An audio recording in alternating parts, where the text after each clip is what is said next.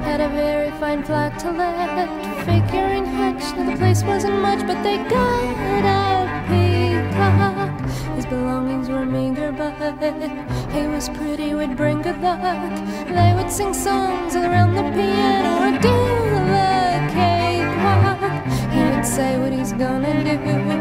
He would say what he wanted to. Ostrich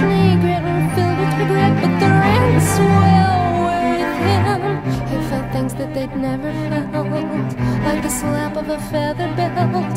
So still they sat by the fireplace, silent to chill ran through them. Ostrich and egret and peacock had very small dreams. Thinking of him just reminds me of scenes. Nobody's laughing when everyone's weeping, it seems. So that's how we quit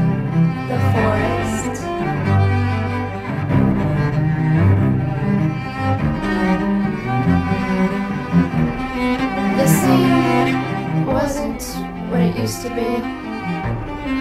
The scene is never